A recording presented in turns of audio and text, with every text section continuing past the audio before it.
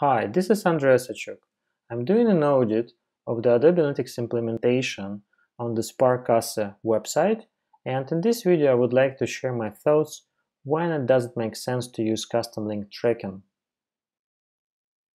I noticed that the custom link tracking is implemented almost on every single link on this website and this is what I would like to discuss today. For example, if we go to the top navigation and we'll click on this menu item, you can see that a server call has been sent, but in general nothing has been happened with the content.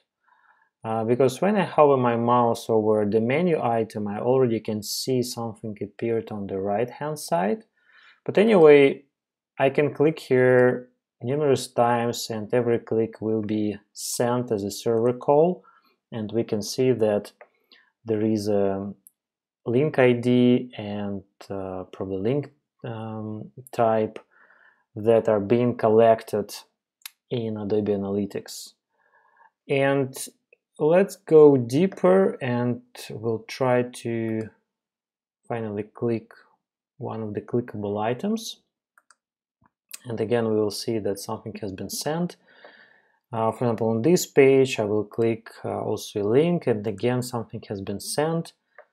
And while I was doing my audit I noticed that almost every single link that you can find on this site will trigger an event and a server call. And my question would be is it really so important to track a click on every single link or button on the page? I wonder how this would help to do site improvements.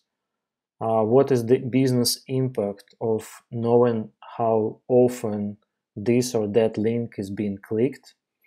For example, as an alternative, I would think about customer journey analysis when you have one page, then you want to know how many of those who was on this page reached the next page that you planned for the customer journey. It's like a shopping cart. You have a several, you have a few steps, and you know that if uh, somebody wants to buy something, that person should go through a certain number of steps. And you want to analyze a funnel if you set a funnel where every page is a milestone in this customer journey, you can see how many of visitors converted to the next step and how many of them uh, went away. Why I'm saying this? Because it's not the purpose of analytics to track every single element on the page. You always need to think about how this will help you to reach your business goal, how this will help you to answer your question.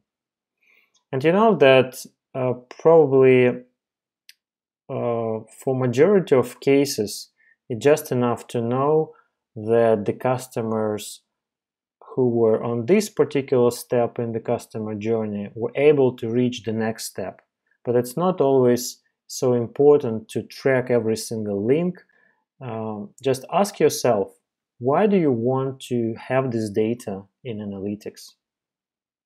So these were just my thoughts about custom link tracking and share your ideas in the comments and subscribe to my channel if you like it. Thank you for watching.